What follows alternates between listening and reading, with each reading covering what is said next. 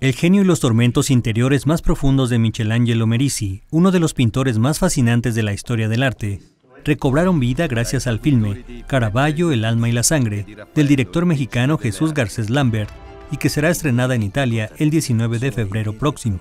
Mi idea no era solo contar el personaje de Caravaggio a través de sus obras y de su vida, sino hacerte vivir lo que es Caravaggio, sus pasiones, sus dolores, eh, toda la, parte oscura y la parte de luz y la espiritualidad de Caravaggio.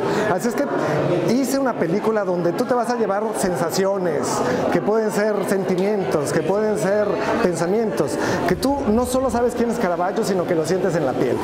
El director condujo un equipo de producción de más de 60 personas, quienes rodaron durante tres semanas en cinco ciudades y 15 sitios de arte, registrando más de 200 horas de filmación en 8K, la tecnología de ultradefinición que permite captar detalles de las obras nunca antes vistos. La colaboración con el Vaticano fue fundamental porque ellos nos abrieron los espacios, nos dieron la posibilidad de andar en los archivos vaticanos. Caravaggio era un pintor que todos sus cuadros más importantes fueron comisionados por la iglesia y están todavía algunos de ellos posicionados en iglesias.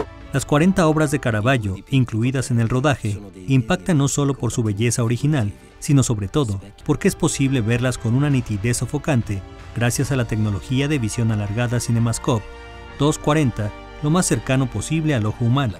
La película va a ser estrenada primero en Italia en 340 cines. Después ya hay 60 países que han pedido, han comprado la distribución.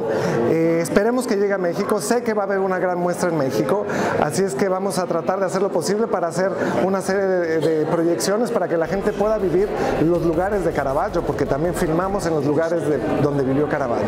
Con información e imágenes de Andrés Beltramo, corresponsal en el Vaticano, Notimex.